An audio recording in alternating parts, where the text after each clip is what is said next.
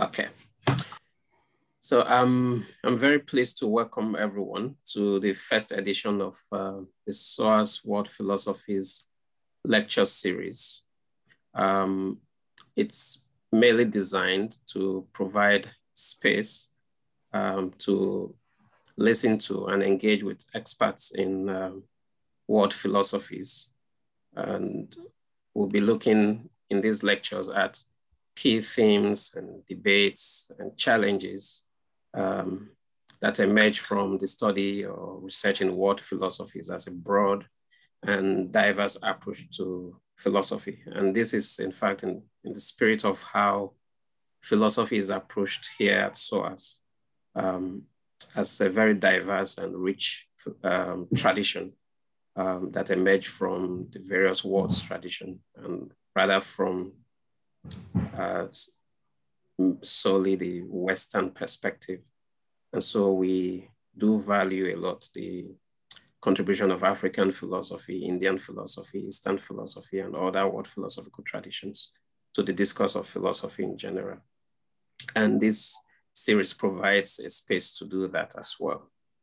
Um, today, we are beginning with um, what I think is a very important way to start talking about the very essence of globalizing philosophy. And we have an eminent philosopher uh, Professor Richard King to speak on that topic of reflections on globalizing philosophy.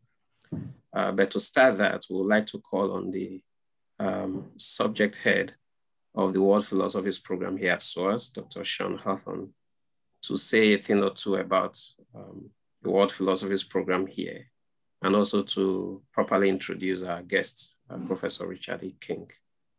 Uh, and just before that, please remember to um, uh, mute yourself, uh, particularly as the lecture is going on. And uh, the lecture will go on for about an hour. We'll have a, about an hour for questions and comments. And then you can unmute yourself to say um, your mind. And just raise your hand if you need to. Thank you, uh, Dr. Sian. Thank you, Elvis. Good afternoon, everyone, and welcome to the inaugural lecture of the World Philosophies lecture series, which we're hosting here at SOAS University of London. I'm Sian Hawthorne. I'm the convener of the BA program in World Philosophies, which is a program that has really been intent on broadening the uh, panorama of, phil of philosophy as a discipline, particularly the themes with which it engages, but more importantly, the intellectual traditions that it encounters. I'm very delighted, along with Elvis, uh, to introduce our first speaker and my dear friend, Professor Richard King. I first encountered Richard's work when I was a postgraduate student towards the end of the 1990s, when I read his now very famous book, Orientalism and Religion, which was published in 1999, uh, in which he addressed, and I would say also just put very firmly on the table, uh, one of the most important issues facing the academic study of religions, but which scholars have been very slow to engage with. And that was the, the troubling legacy of colonialism and Orientalism and its constitutive role in producing the discipline, in shaping its conceptual apparatus and its priorities. It was one of those texts, I think we could say, to coin a philosophical phrase, which shook the field out of its dogmatic slumber although I would say that since then there's still been a lot of work to be done. Now, I've returned to this text repeatedly in the last 20 years, both in my own research, certainly in my teaching, to explore the politics of knowledge production and knowledge circulation and the insidious force of colonial conceptuality in shaping how we think, and indeed in telling us who this we is that we repeatedly evoke in the academy. It also teaches us how to escape the bind of coloniality in our disciplinary context, how to avoid its repetition. And Richard's work has really been a continual conversation partner for me over the years, and I've benefited hugely from his careful, humane, and illuminating scholarship.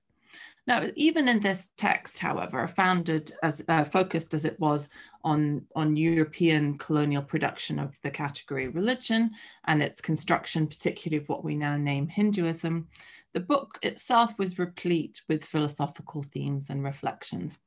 And this is no surprise, given that Richard, from the very start of his career, straddled both the discipline of philosophy and the discipline of the study of religions. And much of his very extensive work in numerous published volumes, journal articles, conference papers, and the like, whether his text on Indian philosophy or the other one on the relationship between Advaita Vedanta and Buddhist thought, or his many articles really pursuing a decolonizing and post-colonial line of questions, has sought to find ways of speaking of and thinking with non-European intellectual traditions in ways that not only do justice to the rich variety of these traditions, um, and refusing to reduce them to that most colonial of tools, the category of religion, but also recognizes and puts to work their own conceptual apparatus in order to undo the hegemony of Western thought and to enable the decolonial work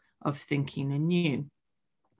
Richard has been a great friend to us at SOAS in helping us, in fact, to put together the BA World Philosophies program, serving as an external examiner for the program and engaging with many uh, fruitful and nourishing conversations about the potential of world philosophies to enable the long overdue uh, overhaul of philosophy itself. Richard has worked in an impressive number of institutions, University of Stirling, University of Derby, uh, Vanderbilt in the States, Glasgow, and finally, or more, most recently, the University of Kent. And it was there that he worked to establish a similar program in global philosophy. And so I'm so pleased he's here today to tell us about that work, to help us in our ongoing reflections about what decolonizing philosophy needs to look like, and perhaps more poignantly, the particular challenges this involves in a context of the neoliberal marketization of higher education and its instrumentalization of metrics as the measure of intellectual quality. So please join me in very warmly welcoming Richard to SOAS um, and, um, and to, um, well, just welcome him to SOAS. Uh, I'm really looking forward to hearing what Richard is speaking of today, which is really global philosophy, its possibility, its intellectual force and value. And the title of the talk is Reflections on Globalizing Philosophy. Thank you. Thank you very much, Sian, for that lovely, uh, kind and insightful um, introduction. I'm just going to share my screen and, uh, and the PowerPoint that I intend to use because I think that will um, make things just a little bit easier. Um, let me see if I can. I'm sure there's an easy way of doing this, but how's that? Can you see that? Perfect. Great. Um, I, am in a, a, a, privileged position. Oh, first of all, thanks for inviting me to SOAS. I have to say, it's looking a lot like my office. Um, but um, I, am in a kind of privileged position here because there are uh, three uh, dimensions of this that uh, experience I want to bring to this. The, the first is that I Two of them relate to SOAS and one of them relate to Kent. Uh, I was um, consulted as an external consultant by the institution when the idea of world philosophies was first uh, mooted as an idea uh, at SOAS. So, so I, I was there watching the process right from the very early stages. And then subsequently, um, as Sian said, I uh, served until recently as the external examiner for, for that BA program. So I've seen the early days of that program. And then thirdly, as Sian also said, um, in my own institution at the University of Kent, um, I uh, came up with the idea of developing a, uh, a degree which, which I called global philosophies. Um, there are some questions there about about that choice of title, which maybe we can get into in the discussion. But that that was the choice that was eventually uh, uh, started on. And, and, what I'd like to do today is um, draw upon some kind of theoretical ideas, but mainly uh, in a way that's a little unusual for me because I, I, usually like revel in the abstract and, and the theoretical. Um, is, is talk about some of the more practical aspects of uh, offer, offering a degree of teaching uh, world philosophies uh, based upon my experience both at a slight distance as an external observer at SOAS, but also in my own capacity when I was head of department of religious studies at Kent in terms of developing uh, such uh, a degree. So, so I'd like to begin by talking about some of the challenges and what I saw as the responses to those challenges in globalizing philosophy. Um, I'll talk a little bit about some of those issues uh, and how they fed in very practical ways into my structuring of the degree at Kent. Um, and then we will look, uh, I'll look at uh, some of the kind of uh, challenges, some of them institutional, some of them cultural, some of them economic, to that whole project. Um, and then hopefully at the end, um, we'll have time not only for questions, but also I, am really interested to hear um, your thoughts and have a discussion about this whole project, which I see SOAS as at the forefront of. So um, I hope that you find these reflections um, of interest. So um, in, in terms of uh, challenges to the globalization of, globalization of philosophy, I would say that the, the first main one that I've uh, struggled with quite a lot in my own work um, is the question of uh, Eurocentrism, uh, or the essentially summed up as the, the West is best bias, which is pretty well established within, not surprisingly, you might argue, the Western Academy, um, or the idea not even that the West is best, but West is normative. That that the, the way that Western culture, Western civilization has thought about the world is necessarily the, the natural or normal or best way of, of thinking about the world. Um, and in reflecting upon this, um, I found that one of the ways to embed a response to that within the development of a degree um, is to reflect upon and recognize the so social and cultural location of thought. I think that's uh, an important element of the process of globalizing philosophy is recognizing that what people are calling philosophy in different cultural contexts are formed within those contexts. So thought doesn't occur in the abstract, even though one can discuss it in the abstract. It's formed in social, cultural, and institutional ways. And this, this point is sometimes lost in uh, mainstream philosophical discussion. The idea being we're not really interested in the social or cultural location of ideas. We want to discuss them, if you like, on their own logical or philosophical merit. So there's a kind of abstraction that occurs that uh, that I think uh, does a disservice to our understanding of the complexity of those traditions and where they where they come from. A second challenge, which I'll come back to also at the end, um, is a is one of a disciplinary or institutional challenge, and this is the issue of disciplinary territorialization.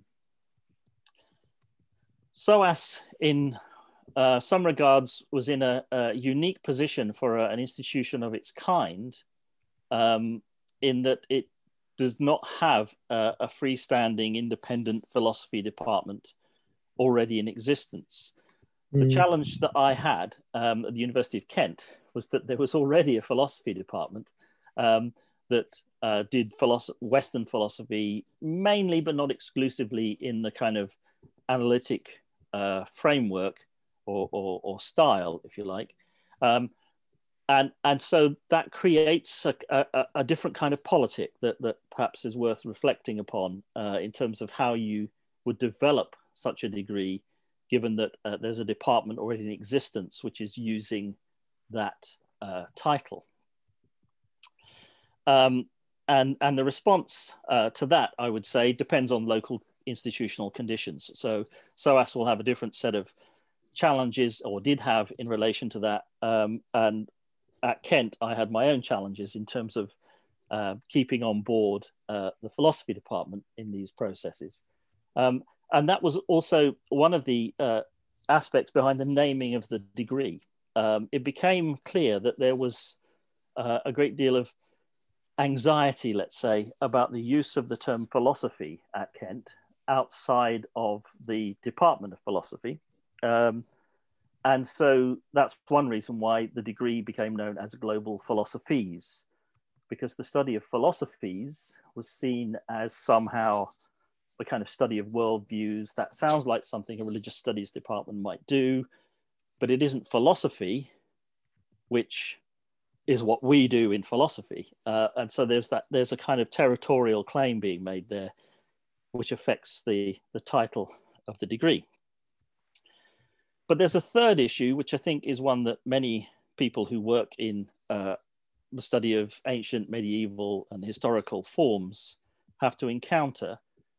And that's what I would call presentism, which is the deeply embedded set of assumptions in the modern academy, which uh, tend to prioritize, sometimes without reflection, um, a kind of secularized model of modernity and, and a kind of uh, implicit myth of progress.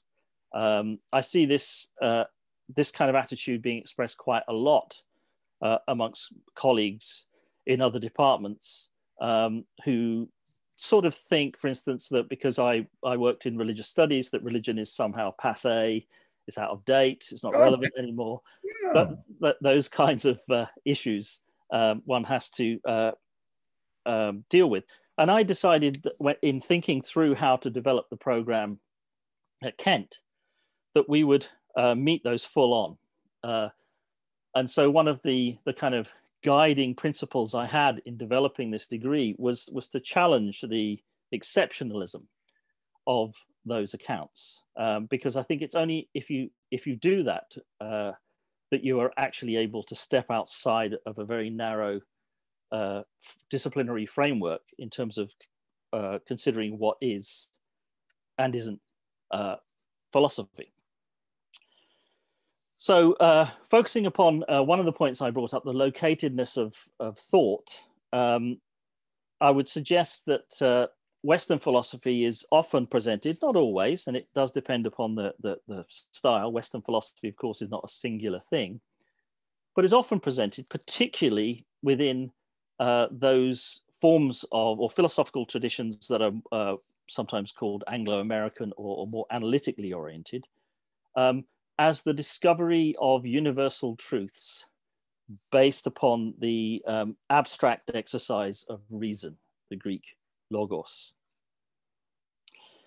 But the problem, um, and, and that but, uh, it's a big but, if you pardon the phrase, um, is that philosophy will in fact uh, look different depending upon its historical and cultural location. Uh, and we have to accept this point, I think. Um, otherwise, we are assuming that the conversations that we might be familiar with, when I say we here, I'm thinking of white, those who are trained within the white Western Academy, um, the conversations that we are used to um, are not necessarily the only ways in which conversations can be had. Um, I try and address this point uh, to students by um, asking them to reflect upon when they go to a party. Maybe they just come, they're freshers at university, they go to a party, they don't know anyone. And, and they're maybe experiencing social anxiety, they're trying to fit in, they're trying to break into pre-existing groups who are already having a conversation. Um, and within the terms of that conversation, um, there's the issue of how, how you enter into it. Do you enter into it and speak about the experience of those within that group? Maybe they come from a different part of the country or a different part of the world, and your uh, background experience isn't the same. Um, so, um, in other words, we shouldn't expect when we when we go to these parties, when we develop something, called world philosophies or global philosophies, um, that the kind of thought that we will encounter will, will, will be the same. Um, there will be local differences. There will be different points of emphasis. That's not to say there aren't commonalities, and I'm not making a, a kind of radical separatist claim that these, these are uh, uh, cannot uh, talk across cultures, but we have to accept uh, the reality of difference and not see that difference as a way of uh, excluding some and not others from a widening of the conversation, which is what I see the globalization of philosophy as fundamentally about, a widening of the human conversation. Now, when we look back uh, in uh, Western culture at uh, the whole question of the origins of philosophy, um, we'll, we'll see that there are, there are basically two main strands. There's the, those who have argued that philosophy has begun independently different in different places, Africa, uh, India, the West, and so on, Greece. Um, and those who argue very, very specifically for the Greek origins of philosophy. The word philosophy, of course, is philosophia, the love of wisdom. Uh, and, I, I've given here just some examples on each side of uh, writers and thinkers who have uh, argued on, on, the from these two different points of view. Um, and I think it's fair to say uh, that in uh, recent centuries, since this that debate arose, it was those on the left who argued for the pluralistic origins of philosophy, who tended to be in the ascendancy. But that's not been the case in more recent times, and certainly throughout the 20th century, we've seen this idea that philosophy began in one particular place in Greece at a particular time, um, the specificity thesis, if you like, or the, um, and that, that has come to dominate 20th century accounts of the history of philosophy. And, and if you look at some of the key textbooks, for instance, which is often a way of tracking uh, what what the kind of general perception within the academic circles are, um, there, there's overwhelmingly a tendency to locate the beginnings of philosophy in ancient Greece. Uh, and of course, this is part of uh, a longer tale of European exceptionalism. Uh, the idea that Greece is the birthplace of philosophy, that it's the birthplace of many of our uh, ideas of democracy. Um, so, so this involves, of course, a very, very specialized or specific way of approaching philosophia, um, seeing it as something that only really developed or, or developed in its most perfect form, if you like, uh, as some might put it, um, in Greece. Uh, the, and this has often been portrayed as, as the triumph of logos, the spark of reason, of logical argumentation over ancient mythos, a myth. Um, and of course, this is conceptualized in, in characterizations of Socrates um, and the fact that he got into a great deal of trouble for um, questioning uh, aspects of the, the mythological uh, uh, aspect of the gods uh, and focused upon the importance of drawing out wisdom through dialogue, through the Socratic dialogue. But I would argue that this story, which is quite modern in many respects, um, is itself a, a, an origin myth for philosophy, and it's something that uh, philosophy should investigate. Should it should be part of the remit, uh, and that's something I'll, I'll, have something to say about. In this regard, um, I, I, draw your attention, if you're not already aware of it, of, of the uh, interesting article by Robert Bernasconi, who's, who's written quite a bit about uh, philosophy and race and philosophy um, where he, he makes this, asks this particularly pertinent question. What is one to make, he says, of the apparent tension between the alleged universality of reason and the fact that its upholders are so intent on localizing its historical instantiation. Um, and he goes on, uh, I'll just put the longer quote here because I think this draws out some of the implications that, that he would see from this. Uh, he says, one cannot understand why there has never been a serious debate about the origin of philosophy unless one understands what is at stake in the question. Even if the history of the discipline and the conception of the discipline that history supports, that history supports is not racist in design, the question must still be addressed as to whether it is racist in its effects. Whole peoples experience themselves as excluded in part because of the systematic diminishment of the achievements of their group. Philosophers almost everywhere are implicated. The problem must be addressed not just in research, but also at the institutional level in each and every department. And of course, I um, want to focus in, in, in this talk on that last point, upon addressing that, excuse me, at the institutional level. So let me say a few things just to kind of pull, pull this down into some specifics that we can then pull apart and discuss later of how I conceptualize global philosophies at the University of Kent. How, for instance, does uh, global philosophies, as, as, as it's called or was called, that's something we can get into, um, how does it differ from a traditional philosophy degree? So let me outline ways in which I think uh, it, it's an attempt to be different. Firstly, perhaps somewhat obviously, um, is the global remit of the degree that the degree would be explicitly cross-cultural and comparativist in orientation.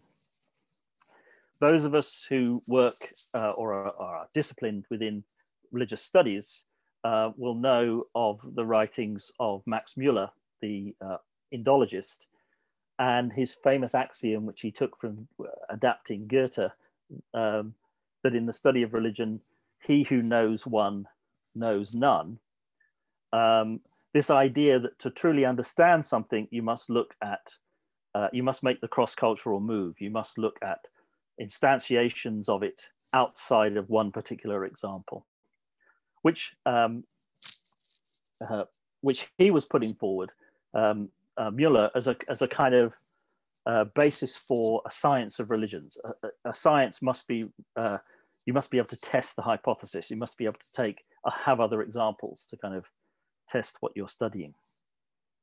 So there's a global and a cross-cultural dimension to that. Secondly, um, I very much argued uh, at Kent that there had to be a historical element um, to this process, um, that there had to be a sense in which we were engaging philosophical ideas, but also engaging in the global history of ideas. Um, some of my colleagues um, in philosophy um, felt that there was a strong separation here and that although I think that's partly an illusion, um, there's quite a lot of history of philosophy in philosophy degrees traditionally. Um, but the idea that uh, there's a kind of separation of, of method and, and work here was summed up in the idea that the belief um, that what we were doing in a religious studies department was a kind of history of ideas. We, we were kind of describing uh, different points of view, presenting them. Um, whereas what they're doing in philosophy is they're directly engaging with truth questions, with questions of a philosophy as opposed to uh, history of ideas.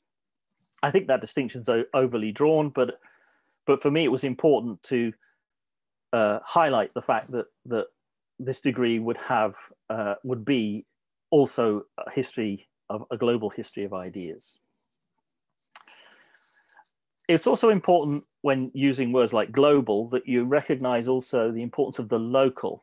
Um, and so what I tried to embed in this degree was um, attention to the cultural, social, linguistic, and historical contexts of ideas, something that can perhaps be summed up in the, uh, the idea of the social construction of knowledge, thought, that that ideas don't just exist in the abstract, that they occur in particular places, in particular times, and that those thoughts are thought through the medium of particular languages, a point that is sometimes um, not considered, let's say, in traditional uh, philosophical discussions.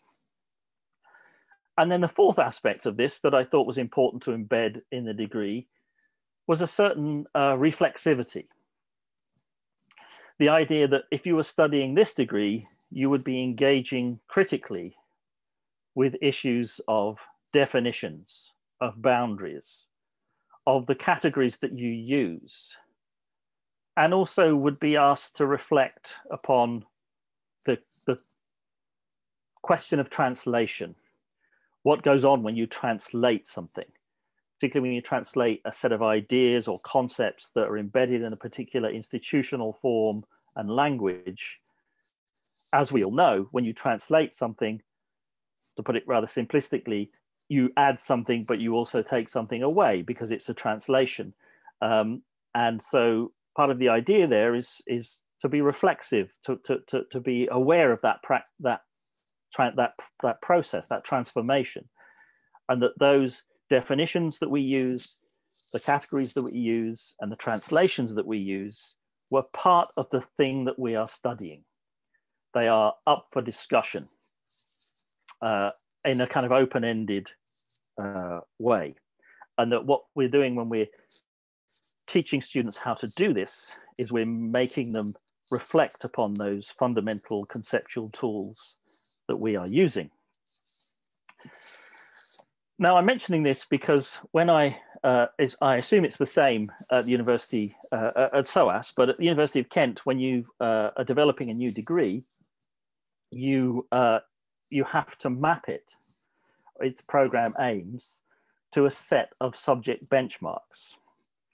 Um, and so in developing this degree, I mapped the global philosophies degree in relation to three different areas because I felt that this, and I and I'm mentioning this because I think this captures something of the uh, the phenomenon uh, of of the degree and what it's trying to do. So the three subject benchmark uh, statements that I I drew upon were philosophy, fairly obviously, um, but also uh, languages, cultures, and societies, which allows for the historical and the translational and the hermeneutic questions uh, that are uh, I, I see part and parcel of this sort of degree. And then thirdly, area studies, because anyone who's studying world philosophies or global philosophies would have to be involved in the study of specific regions. Um, and, and so those were the three, the three kind of defining benchmarks in, in the kind of administrative process of developing this degree. Um, and it'll be interesting. Um, I don't remember what uh, what you did at SOAS in terms of the benchmarks, but when we get to the discussion, it will be interesting to know which benchmark statements uh, you used. So um, in developing this, what did I see as the kind of distinctive components of that degree, of the global philosophies degree?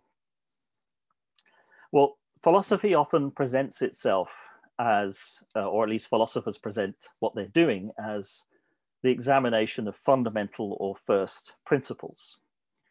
Um, so you might do science, you might be studying religion, you might be studying the mind, but what philosophers do is they, they are studying that, but they're also studying the fundamental assumptions and principles underlying those fields. I see that as a constitu constitutive aspect of, of what a philosophical approach is about.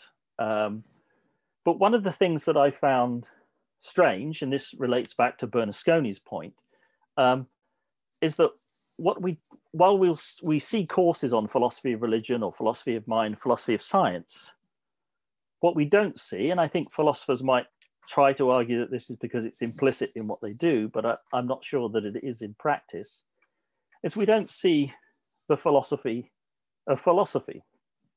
We don't see that first stage examination of the very principle of what philosophy is, um, foregrounded within the subject. Uh, what we often find um, is that students are introduced to philosophy and, uh, and the different ways of doing it, but they're introduced to it often in a historical way. And that historical way usually embeds a canon of who are philosophers and who aren't. And because that canon is usually heavily defined by European civilization, um, it tends to embed a set of assumptions about philosophy, which are strongly linked to the European tradition uh, and to that tradition which locates itself in Greece, for instance.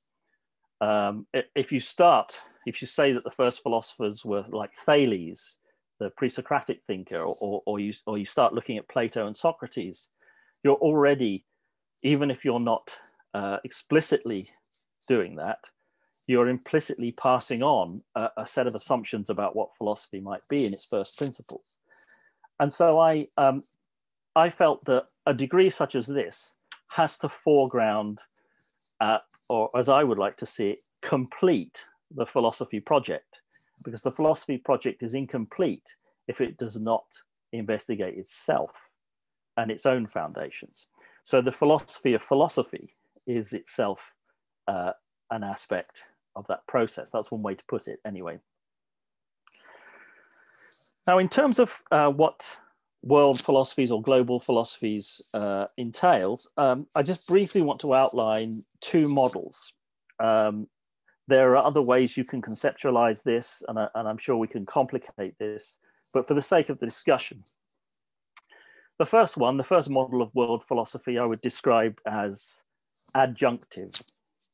Um, it's liberal, multicultural uh, in its uh, intentions, which is to extend essentially Western philosophical discussions. I, I, I, can, I, can, I would often come across, um, quote, open-minded uh, philosoph uh, philosophers in, in various departments of philosophy in institutions I've worked in, who were interested in the work that I was doing and wanted to talk to me about the philosophical questions as they saw it. Um, and it would soon become clear to me that for them, uh, this was about finding correlates of their own sets of conversations within, in my case, Indian traditions, um, and then um, translating them into the terms of that conversation, and then and then engaging in in a discussion. And this is uh, in some at certain level a kind of laudable thing, an extension of discussion and so on. Um, uh, but there was rarely a, a reflection upon the issue of the translation of those materials into the Western linguistic and conceptual framework. Um, and, and this relates to what I considered to be a superior paradigm, which is to see world philosophy as a transformative exercise. Uh, that is, um, it involves an expansion of what philosophy means. And that expansion uh, means something that is between uh, and perhaps beyond specific traditions of thought. So, uh, from that point of view, when you when you bring Indian philosophical ideas, let's say, into a discussion uh, that is uh, about a particular issue, um, that the way in which that's approached, the, the, the, linguistic differences, the historical and cultural and institutional factors that form that those different discussions will create something different from those two. Uh, and that's much more than a kind of adjunctive idea of world philosophy. That, that's where one really is attempting to open up conversations um, and transform them in the process. Now, this, uh, this project uh, is very much part of uh, what I would call the decolonization of wisdom. Um, and I just wanted to mention uh, this is one of my favorite quotes from Michel Foucault. Foucault, um, in, in, many regards, doesn't represent a good example um, of, uh, of, of, a, of a post colonial or decolonial thinker because he's very much embedded within the European context. Um, but um, this quote, which is from an interview that he had in Japan in 1978, I, I find uh, quite a, an intriguing and, and, and an interesting one. This is what Foucault says. He's asked the question, by the way, can he's in Japan, he's being asked whether Asian thought can help the crisis of Western thought. The question is the leading question to start with, but it's one that he accepts the premise of, and he and he replies in the following manner. It's true. European thought finds itself at a turning point. This turning point on an historical scale is nothing other than the end of imperialism. The crisis of Western thought is identical to the end of imperialism. The crisis has produced no supreme philosopher who excels in signifying that crisis. And he goes on, for it is the end of the era of Western philosophy Thus, if philosophy of the future exists, it must be born outside of Europe or equally born in consequence of meetings and impacts between Europe and non-Europe. Now, as I say, I'm not holding up Foucault as particularly a good example of someone who uh, ful fulfills that project. Um, I, am just, I just find his analysis interesting because what what he's suggesting is that the uh, the impasse, the crisis, as he sees it, of Western thought, is precisely linked to the fact that the West is uh, no longer supported by the pillars of empire. Um, those disappear first in the mili military and political contexts, but they also, uh, their underpinning of claims of intellectual superiority are also lost in that process. And in that process, the Western philosopher is exposed uh, in the parochialism of the original claim that the West has or invented philosophy. Now, um, in my own work, um, I have been interested in this process of translating the love of wisdom, and particularly the question of who gets to decide what is it that we call philosophy. And so, in, in, a, in a number of works in different kinds of ways, there are different ways to approach uh, what, what I've written, I guess. Um, but one of them um, is to consider uh, the ways in which uh, traditions of thought become classified as isms or religions um, when brought into discussion with uh, European modes of thought. So many of the universalizing or globalizing intellectual traditions of the pre-modern world are the ones that have been classified by us in the West as religions or isms. Here are some examples Judaism, Hinduism, Confucianism, Taoism, Buddhism, Islam.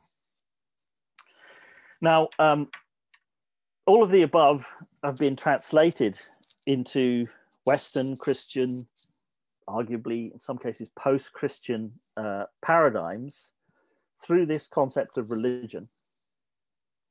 And what I've tried to do in various works from Orientalism and religion onwards is, is try and highlight that and, uh, and unpack ways in which, through that categorical move of placing them within the category of religion, um, this separates them from what the West would call philosophy, science, medicine, politics. Because, of course, in, in the classic um, Enlightenment, or, or, or if you like, Westphalian worldview, uh, that there's the separation of the secular and the religious. Uh, uh, and so there are certain domains that are seen as public, philosophy, science, medicine, and politics, and certain domains that are seen as private, uh, religion being uh, a clear example. And if we don't question this separation, which is a separation that I feel quite strongly at an individual level, because um, I've always thought of myself as a philosopher, but I've never been institutionally recognized as a philosopher. I've always been located within a religious studies department. Um, and, and that's, so that's the, the discipline, that's where I'm disciplined by the institution. Um, uh, and it's, it's, so it's always been a struggle to have conversations with other people who call themselves philosophers because they don't consider what I'm doing to be philosophy. So it's something that I've throughout my career, felt quite personally, uh, but also I think reflect, reflective of a much larger issue about the classification of non-Western cultures and traditions. And of course, the, the, the kind of bottom line, the outcome of this is that it's through the, these, the unquestioning use of these separations that modern so-called secular Europe has been secured as the center and the focal point of world history. You get people like Dipesh Chakrabarty arguing that history essentially is mostly written as a kind of Xerox or, or a, a photocopy of European history, which is then adapted to fit regions. So you have Indian history, Korean history, and so on, which are essentially repeating some of the categorical assumptions of European historiography, but adapted to the region, but without thinking through the whole idea of what it might be to write a history from that region rather than of that region. So that brings up the question of what counts as world philosophy, the whole question of boundaries and definitions. Um, and at one level, of course, it, it's relatively straightforward given uh, what, what has been said to say what would count as world philosophy. It's, for want of a better phrase, global intellectual thought, the various philosophical traditions or intellectual traditions of the world. You might argue there's question begging there. You're already deciding that that's called philosophy. Um, but certainly to expand philosophy and onto a world stage, examples Greco-Roman, European, Indian, Chinese, Japanese, Korean, Jewish, Christian, Egyptian, African, and so on. These are the kinds of things that one would imagine uh, encountering within a world philosophy degree to bring it down to that kind of uh, curriculum level. But if you um, base uh, the construction of the degree upon the second model that I outlined, the transformative model, then world philosophy is not a case of narrowly finding correlates or mirrors of Western, modern Western philosophical discussions and traditions, or even of Christian theology.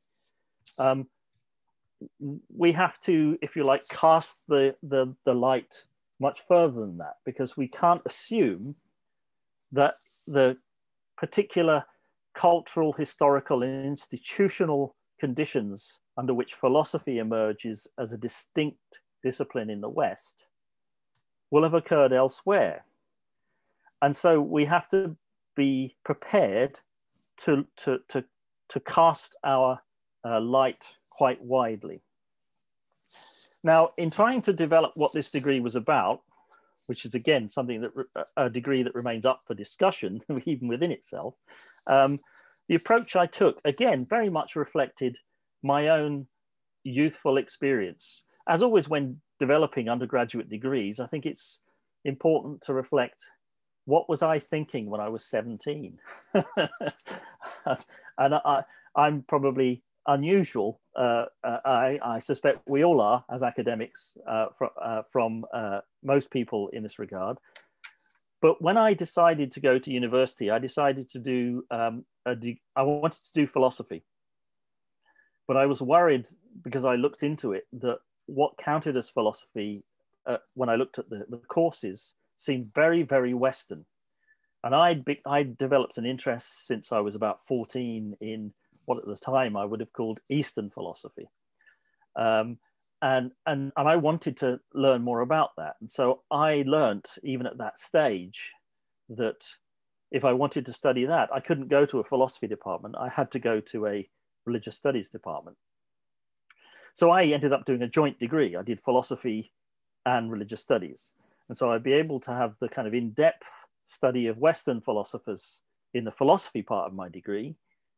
But then if I wanted to look at anything non Western, then I could cross the corridor and do that in uh, religious studies.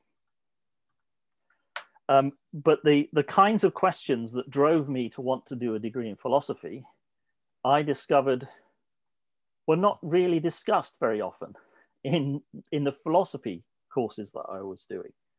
We weren't discussing fundamental questions of meaning and identity. We would discuss Quine and, and logical forms, and we would discuss uh, qualia, uh, theories of perception, um, uh, philosophy of mind. We, we, we, would, we would look at, at uh, um, ethics questions, but questions about fundamental human identity. What, what, is, what is my life about? What's the meaning of it? Where does meaning come from? These kinds of questions, whilst philosophers in the West talk about them, um, aren't necessarily those that are foregrounded in philosophy degrees. Um, and so um, that turned me also towards the religious studies department, because of course in religious studies, those questions are very much part of uh, the discussion. And so in terms of folding th this in, um, I decided uh, that the, the study of world philosophies at Kent, at least, should involve reflections upon world myth and literature. Um, that we should look widely uh, with a broad spectrum uh, in, in trying to find philosophical ideas and thoughts, what humans have thought about the nature of the universe, of the human, of life and meaning, of gender and sex relations, of ethics, of community, of our relationship to nature. All of these things, attitudes, expressions of them can be found within what we would call mythological uh, material. Um, and so I folded that in to the, the, the degree. Um, now, one might argue that's, that's, there's some issues there, and I'm happy for us to discuss that, but that was a, a decision that I, I made, and we can discuss that. Um, so that left a very broad remit for this degree at Kent. We had, uh, for want of, of classifying this, we had philosophies, logos, but also myths or mythos uh, as, as the things that would be studied. One of the questions that came up, and again, this is where one is also thinking locally and institutionally, was um, how to relate to a broad series of uh, cultural phenomena that might not necessarily be, let's say, always fun- always focusing upon the cognitive. Within my department at, at Kent, um, half of my colleagues were not really philosophers. They, they worked within what you might call the sociology of religion. Um, and, and so the, the question would be, there was a very practical question of how do you deliver this degree uh, uh, in a way that matches the the staff that you have. the, the, the, um, and and so this brought up the question, which I think is also one worth reflecting upon for anyone developing degrees such as this, is whether you should include the study of rituals and social institutions. Um, it's it's one thing to extend the discussion to looking at myths, stories, if you like, um, but also much of how people express their sense of who they are or their relationship to other to animals or nature or to or to each other in terms of gender and so on um, are embedded in rituals and social institutions.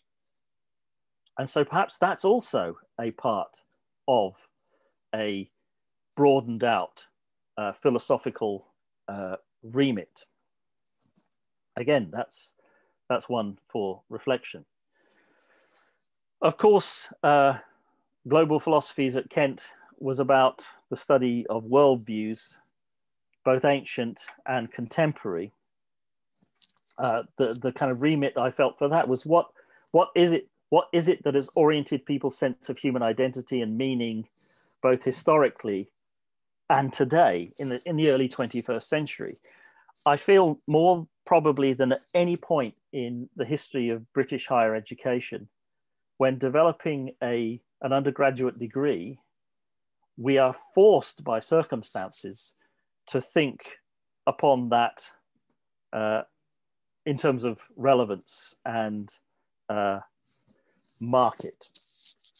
Um, that's not necessarily always a bad idea. You won't hear me say that very often, but in this context, uh, it is it is good to reflect upon what what uh, what speaks to people, what will speak to 17 and 18 year olds uh, in terms of meeting their interests of the life that they're living and the, and the world that they're entering into.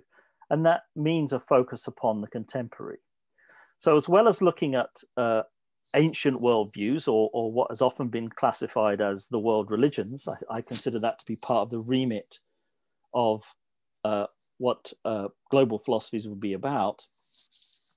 I think it's also about looking at the forms of human identity and meaning construction that are prevalent in the modern world. Some examples consumer capitalism, scientific rationalism, atheism. These are, these are all ways in which people define their sense of who they are uh, either through the, the life that they practice or, or, or through explicit uh, adherence to a particular uh, view. So for me, I actually think this is also true for, for religion as I understand it. Uh, part of the remit of such a degree would involve the examination of capitalism, of scientific rationalism, of atheism as aspects of ways in which people think about who they are and what the world is about. Then um, I just wanted to say a few things about the, the, the, importance of the world or the global aspect as I, as I draw things um, to a close. Um, for me, um, one of the reasons I uh, chose the name global rather than world, um, although uh, you can decide on whether you think that's a good idea or not, was I, I wanted the degree to include within it some reflections on the nature of the global and of globalization itself as a as a term that requires understanding and interrogation. Because it's it's also the case that when people talk about globalization they usually think of it as a very contemporary phenomenon. Um, but i think that it's worth considering the the argument the idea that that what we now call the world religions are often the partially globalized ideologies and belief systems of the previous era. The spread of Buddhism from India um, across uh, to become a pan Asian movement and, and in the modern period uh, beyond that is an example of a, a, kind of partial globalization.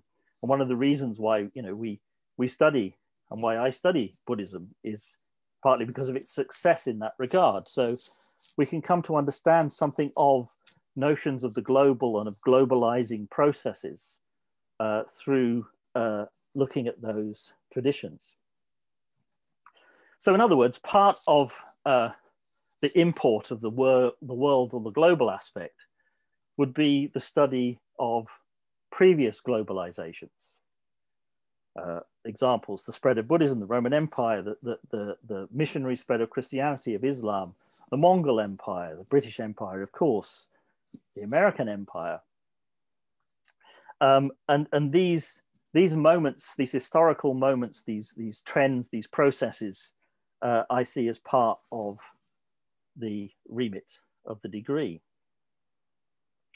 But I also wanted to um, mark what I thought was significant about this uh, this degree uh, in two fundamental levels: For, uh, at, at, the level of the of the individual student, and at, at the macro level. So, at the level of uh, the individual student, um, uh, in that degree, the idea is that we would also study now, the contemporary.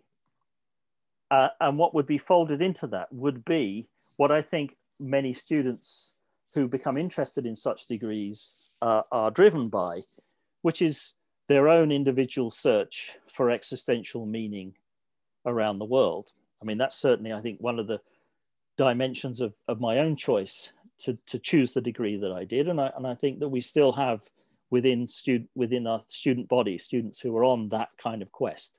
And I think that's part of what this degree offers for them. But also at the macro level, it, it's the study of now in terms of reflections upon the global as it is now on the socio-political, global media, politics, uh, the spread of global capitalism, the rise of digital technologies, new forms of community that are forming in, in that context. What are the new philosophies and ideas that are linked to these new technologies and these new movements. These kinds of ideas and these kinds of modules were already in existence at Kent, and I'm sure you have some uh, at SOAS too, but they were not considered philosophy uh, necessarily, but, but within the remit of this degree, um, I considered them part of the, the, the whole process. Of course, there's a there's a practical aspect to this. If you're building something like world or global uh, philosophies, um, you have you have a, a, challenge which is uh, what's available. what, what do you have in terms of academic staffing, modules that are already in existence? How can you draw upon other departments as they're uh, classified um, to build this um, rather ambitious, I have to say, uh, uh, project. But so let me let me briefly tell you what I did at Kent, just so you have a sense of uh, how I tried to create something out of very little at the University of Kent. Um, so at Kent, what happened uh, in the degree is that at, the beginning, in, in stage one, students would do two core courses one was called The Global Search for Meaning. Uh, and in that, that was really an introduction to the degree, to, to the kinds of things that I'd been talking about, to, to the idea of philosophy, to the idea of the study of myth, uh, maybe the st uh, study of ritual, although that would come in the second module. Um, and that would, of course, vary according to the um, staff involved, but would basically be exploring this very broad frame of, of exploring what it is for hu how humans have made sense of themselves and the world that they live in. And then in the second semester, they do uh, a core course called Ethics, Society, and the Good Life. Uh, this was the, the module where some of my sociology of religion colleagues could contribute. Uh, and there it's looking at different notions of what it is to lead a good life. And that, again, that can be, these courses are, uh, are created as, as shells in, in that modern way in which we do this with learning outcomes and so on, so that different staffing components can work within that dependent upon conditions like uh, sabbatical. Remember when people had sabbatical? Um, and, uh, and so, so there it would be reflections on the good life, um, ethics and society in different cultural contexts. And then uh, feeding into that um, I folded into this um, some courses that weren't core for the degree, but were core for another degree that I developed at Kent, which was a degree in Asian studies. And so students would, would either do an introduction to South Asian traditions or an introduction to East Asian traditions. Um, we didn't have the resources to be able to expand beyond that uh, in terms of other traditions and other cultures but it was important to embed within this the idea that you couldn't go through this course without some kind of at least early level engagement with uh, in this case um, asian traditions.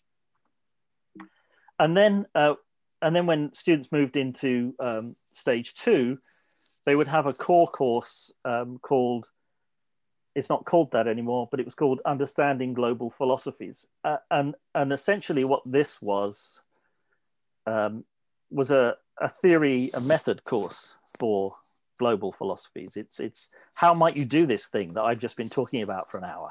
Um, what are the theoretical, hermeneutic, political, cross-cultural issues involved in that? Um, and and I, I put there the kind of extended description of what that module was about, but but as you can see, it, it was quite broad. Again, reflective of a kind of pragmatic need to allow for different staff members contributing their different expertise. But essentially, the focus there was not upon uh, a reflection on different cultural traditions of thought, but upon the very kind of nitty gritty for me, theoretical, categorical, and methodological issues that are involved when you move your study into a cross cultural space. Um, and then, uh, I mean, that, that, that might be seen, and I think it is, as, as quite bare bones. The rest of the degree was constructed out of modules that were taught at the University of Kent in uh, a variety in the philosophy department, in the religious studies department, uh, courses on um, African history, um, uh, sociology courses on media and on China and so on. So that so there was there was a wide remit of uh, modules that were pulled in at that point, but this became the kind of spine of uh, the degree. So let me uh, finish my remarks with um, some notes of caution and a tale of defeat, because uh, essentially when, when I developed the uh, degree uh, program in global philosophies at Kent, uh, it was probably at arguably the worst time ever to introduce a new humanities degree because we are, as you will all be aware, uh, suffering a kind of crisis of the humanities in in a higher education environment that has been marketized um, and with uh, state uh, with with government regularly making uh, statements suggesting that perhaps humanities aren't like the best degree to do. Maybe you should do STEM degrees instead. Um, and, and so in that context, um, the fundamental question, which I think SOAS is, is much better placed than Kent was, is the question of does the institutional platform match the scale, scope, and vision? So it's all very well at one level having this kind of grand vision of, of what philosophy might be in a globalized context. But if the institution cannot support that, ultimately through a variety of factors, um, not just academic staff specialisms, but also at the basic level of humanities programs are shrinking, um, then you know that that's that could be a killer issue. And and I should say that as far as I'm aware, the degree has uh, not being presented to students for 2021 access. I looked I, have now I've now left Kent, but I, I looked at the uh, UCAS um, page and, and, I couldn't find find it for 2021, although it's there for 2020, um, which doesn't surprise me uh, because um, it's very difficult to find a um, a space for something called global philosophies that's necessarily got the, if you like, brand recognition of philosophy when you also have a degree uh, in philosophy being offered independently uh, within the same institution. And that brings me to the, the second uh, note of caution, which is the politics of intra, intra institutional competition. Who gets to use the label philosophy? SOAS, I think, um, has had has the advantage of, of not having within itself a freestanding philosophy department which enabled that space to, if you pardon this way of speaking about it, to be colonized by religious studies. Um, but I didn't have that advantage uh, at Kent, um, where there was already an, an existing philosophy degree um, and understandable um, anxieties about my attempt to introduce something that might be seen as a challenge to that degree and that was one reason why I, I was not allowed to use the word philosophy. I, I had to pluralize it to philosophies. Um, and I found that some, some, some of my colleagues would suggest that, that they would have some students who they would consider less interested in the analytic, more interested in the spiritual. And they would say, oh, well, well maybe you want to do global philosophies because you know, maybe this isn't the right place for you. But, but so there is an issue there of, of uh, uh, intra-institutional territory. But of course, um, in this time that we live in, bottom lines and the economic environment uh, are crucial.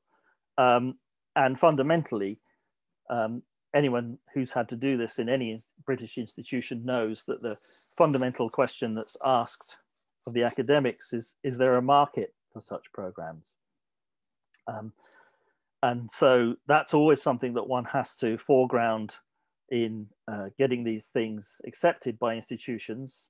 It would be lovely if we could be driven by the academic vision, but there's also the, the kind of pragmatic uh, market-based approach. Um, but I would argue, um, I mean, SOAS has been successful in this regard, and I'm interested to hear more about that. But I would argue that actually one of the challenges that I'm about to mention is actually a demonstration that there is a market for these degrees. And that's the question of cultural politics. What we're seeing, uh, and, and SOAS has, uh, I think, had some backlash about this when the degree was introduced um, in places like the Daily Mail and so on, um, with claims about um, ignoring the white philosophers and, uh, and so on. Um, that, but what we've seen since then, even more, is a backlash against processes of decolonization um, going on within culture. We, we uh, there's a kind of there's the Black Lives Matter movement, which is an incredibly important movement and moment, but there's also the reaction to Black Lives Matter, which we're seeing particularly um, in, uh, well, I thought it was particularly in American and British uh, societies, but I also noticed recently um, discussions uh, with, in France about um, what they saw as the importation of American theory in, in the form of uh, critical race theory uh, and decolonization approaches, which is ironic because, of course, anyone who works in those fields knows that even though those kinds of debates are quite well developed within the Western, within the American Academy, many of the fundamental theorists um, are francophone or French, like Kristeva, Frantz Fanon, Foucault, Derrida, and so on. Um, and so, but but what this reflects is a kind of reaction against uh, what American conservatives have called cultural Marxism or critical race theory. We, we, we've even seen conservative politicians criticizing critical race theory. And I note, I think today, um, a government minister saying that to focus upon um, colonialism in school teaching in Britain would be, you know, adding on too many subjects, a dilution of quality, and so on. And so there's this kind of resistance to these kinds of uh, developments and decolonizing trends. But for me, um, that in itself, those controversies actually demonstrate the cultural relevance of these kinds of approaches and these kinds of uh, degrees because they reflect not only the shifting geopolitical context of our time, um, but they're also now hot button issues within our society and our culture. So um, that's, I, I, think I'll stop there and um, that will give us a chance to um, have any questions and, and, and discussion that might come out of that. Thanks.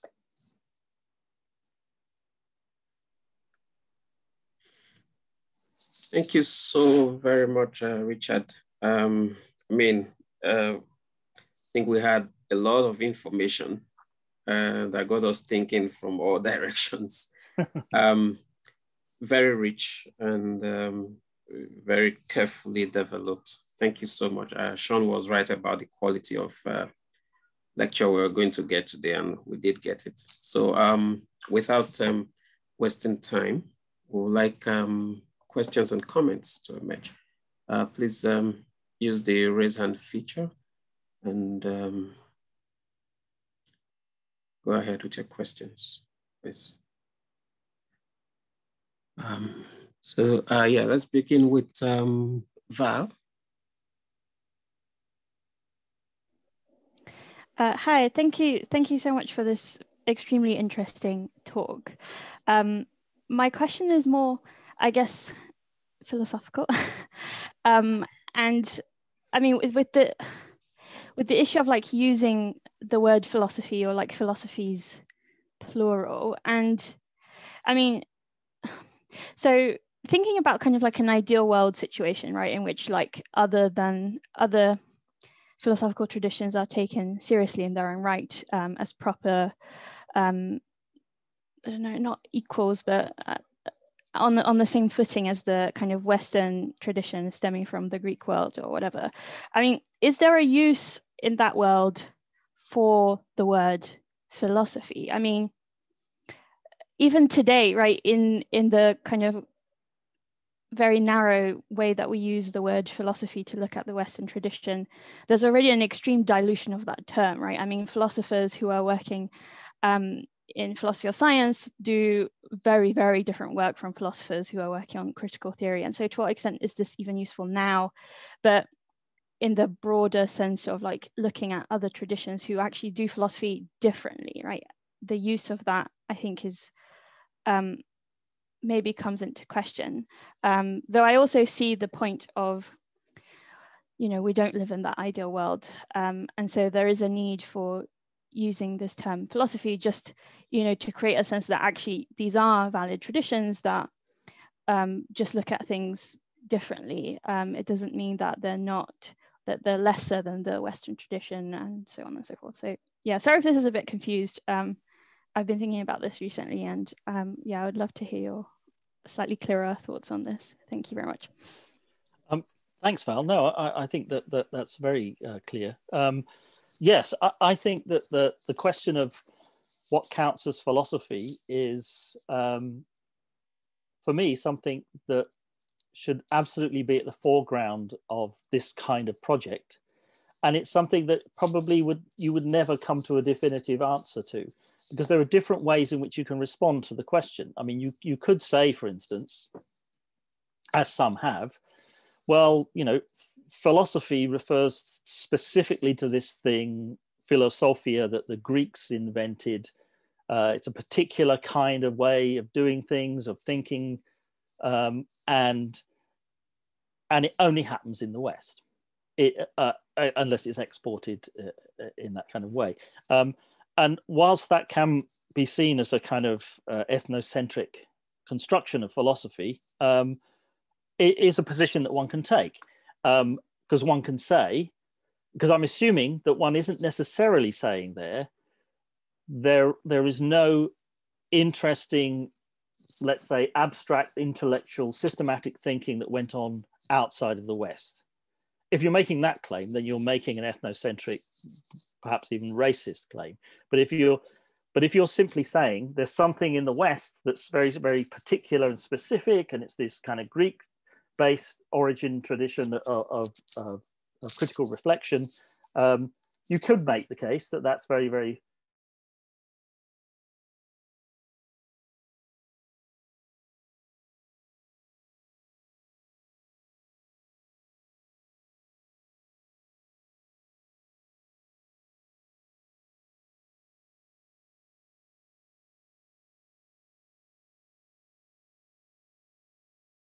Uh, because if you don't do that, then you have to give up the universal claim that philosophers often make that, that philosophy is about the, the, the search for wisdom wherever it occurs. Um, and so um, I think there are different ways in which you could, you could kind of approach this, that question as long as we're clear about the implications of how we define philosophy. And I, and I think that because it's a definitional question, we always have to look at the context of the discussion because um, um, I, I can follow someone down different lines of argument about whether there is such a thing as Indian philosophy, there is Indian systematic thought, um, but I could equally say, was there anything like uh, darshana or anviksiki, which is kind of analytic, uh, investigative reasoning uh, in Sanskrit traditions, is there such a thing in the West? Uh, and so we can engage in, in that kind of uh, uh, discussion, but we have to keep in mind um, not only the definitional question, but the politic of it. Because, of course, one of the reasons why we want to hold on to the idea of philosophy is about cultural prestige. Uh, philosophy has been used to um, present uh, particularly when it's used in a kind of ethnocentric way, to say the West has philosophy, um, to make often to make some kind of claim that well, it's only in European for, forms of thought that the kind of highest forms of rationality have been expressed. We, we find this, for instance, in in Hegel at certain points in, in what he's saying, um, and, and and other other thinkers, um, and and so this. Um, in, in that point of view, we have to also recognize the history in that, of course, theology was originally the queen of the sciences in, in the medieval university. But in the modern university, after uh, the uh, Humboldt, in a sense, the Humboldtian university, philosophy was established as the queen of the sciences. I, I would argue that today, in, in contemporary Britain, um, business studies is probably the queen of the sciences in terms of the, the most uh, dominant uh, model for uh, and success as well. But still, there's this cultural prestige associated with the idea of philosophy. And as long as there's cultural prestige and a claim about higher forms of thinking, then I think it's perfectly acceptable for us to say, hold on, there are forms of thinking that we could call philosophy beyond uh, Euro American thought. Thank you. Could I could I do a quick follow up on that, that's all right? Sure. Um, yeah, is that okay? Um, with the SOAS part of things as Yeah, well. yeah. Yeah, go ahead, please. Thanks. Um, so actually, um, I'm working at the moment on kind of um, potentially kind of the Mesopotamian and Egyptian origins of Greek thought. Um, and something that I struggle with a lot um, is kind of unlearning that Western bias. I ha- I've had quite like a traditional philosophic education. Um, and so kind of thinking about things like um, epistemology and um, in a very kind of like boxed up way. Um, and so I find that oftentimes I'm perhaps like reading into these earlier traditions, these Greek notions. Um, so, I mean, do you have any, I don't know, practical tips, I guess, on like how you can unlearn this Western bias or this Western way of thinking about what philosophy is, perhaps? Um, I, I would say that I'm, I'm not sure we can ever unlearn them in that kind of um, pure way, um, but we can complicate them. Uh, and so that's why, um, for me, the whole question of the, the, the kind of lexicon of, of technical vocabulary that we use to interpret these different texts, traditions, myths, whatever, um, we have to be aware that they are lenses that we're wearing that have been formed in particular ways, have their own traditions. Uh, often, when we're doing this in the Western Academy, we're doing this through the medium of, of, of English, for instance. Uh, not always, but a European language, certainly. Um, and so, um, always having that in the foreground of your study. So, you're not just studying the ancient material that you're studying, you're also being reflexive about the framework that you're using to engage with that and, and, and, thinking about that. I mean, that's that would that would kind of be my basic advice on that. Yeah. Thank you, Richard.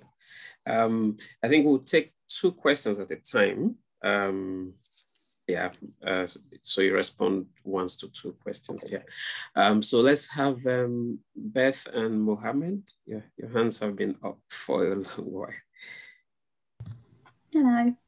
Um, I was just wondering, considering there was already a course for philosophy at the University of Kent, what was your thinking behind uh, making a separate course instead of innovating the current course, and whether that ideology you referred to with the MPs was perhaps being mimicked in the university hierarchy and that there's no space in the current course to innovate?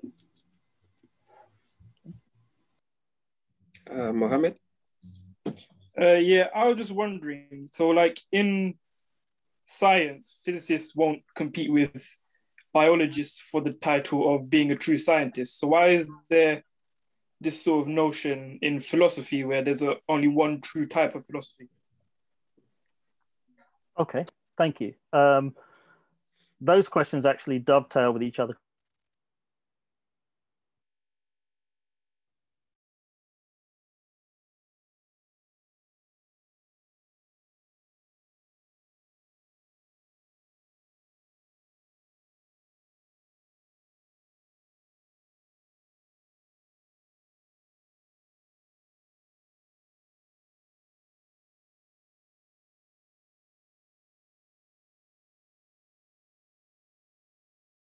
and I would say that the, the reason why I introduced the, the degree, um, well, I'll, I'll give you I'll give you the, the kind of uh, uh, pragmatic economic side of it, is that the religious studies degree was getting less and less applicants, but my uh, but what we taught within that degree um, was very very philosophical material across different cultural traditions and periods of history, but was not recognized as such because it was classified within this box called religious studies um, rather than being uh, a philosophy.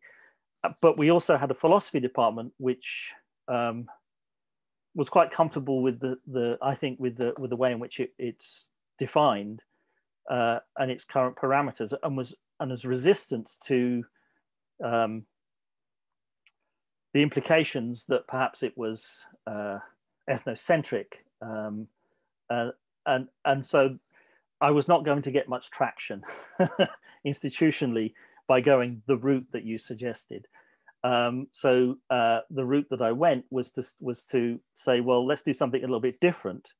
You you do your philosophy thing, uh, and, and, you know, fine, you know, you, you have got students for that. We'll do our philosophy thing.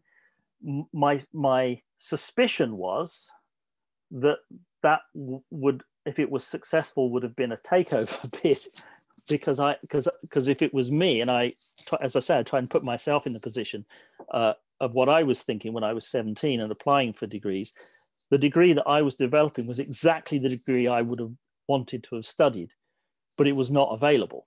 Um, and so, uh, what what's always happened throughout my time as a scholar of religion in small religious studies departments is that we have picked up lots of students in the system who find out that religious studies isn't the weird, strange Bible study that they thought it was.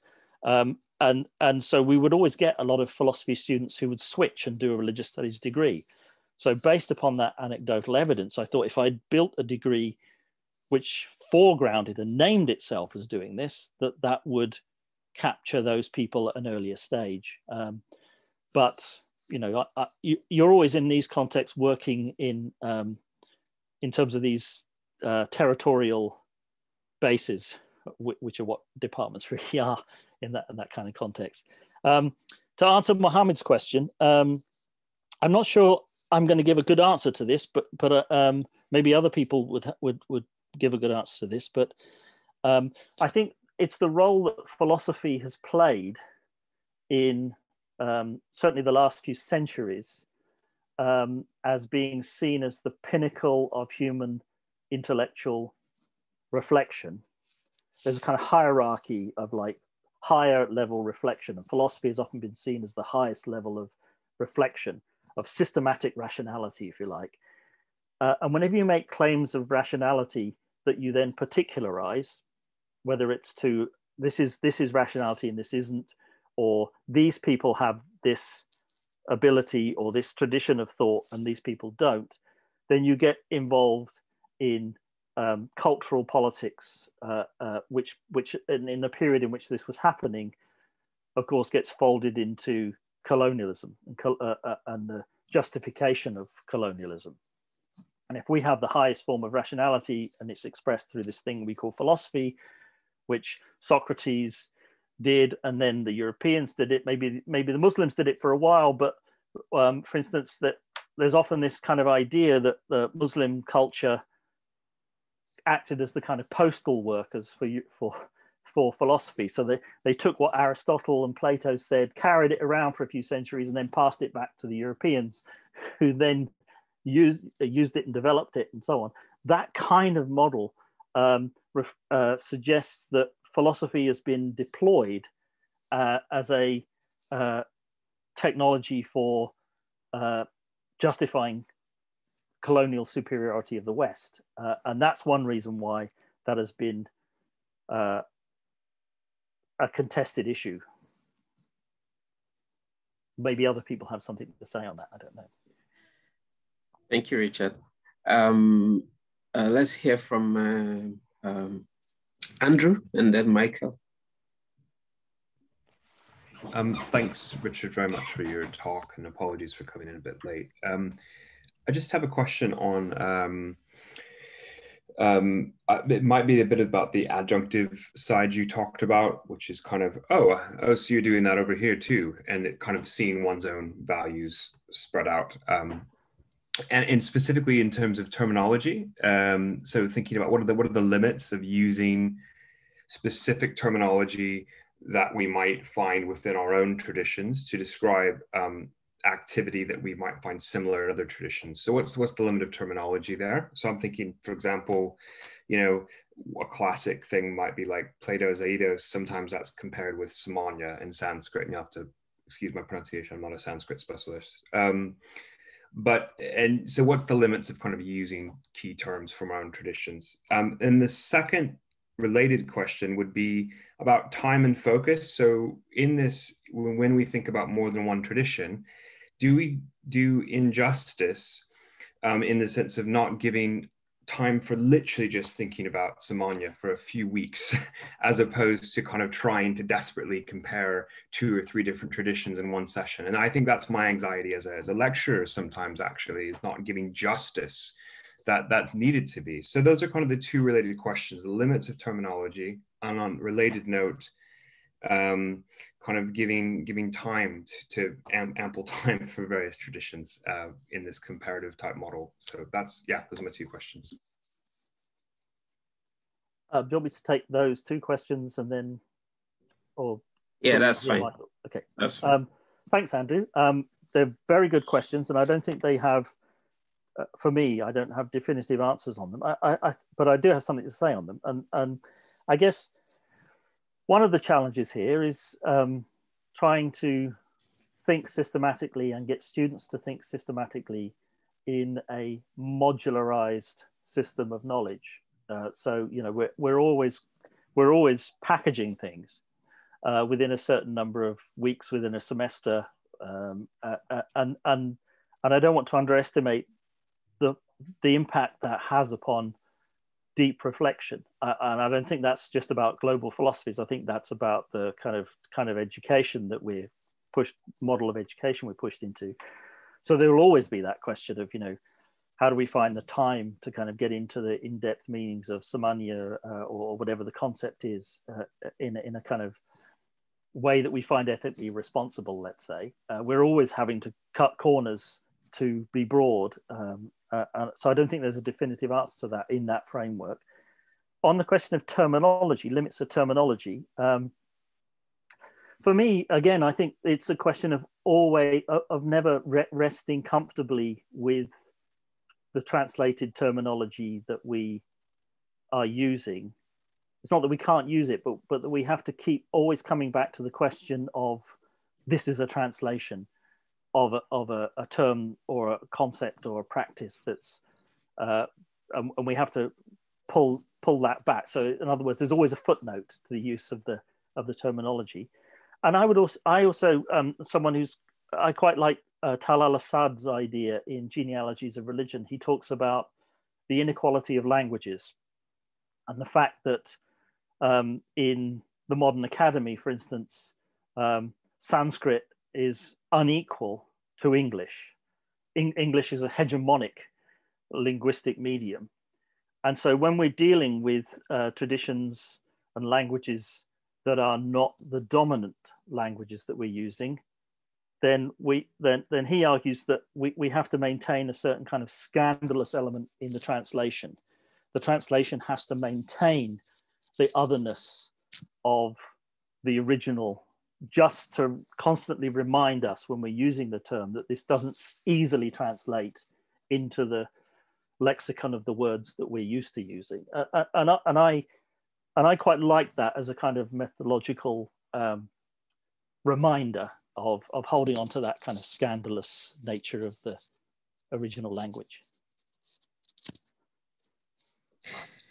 Thank you, Richard. Uh, uh, Michael, I think you can go ahead now, then Anya.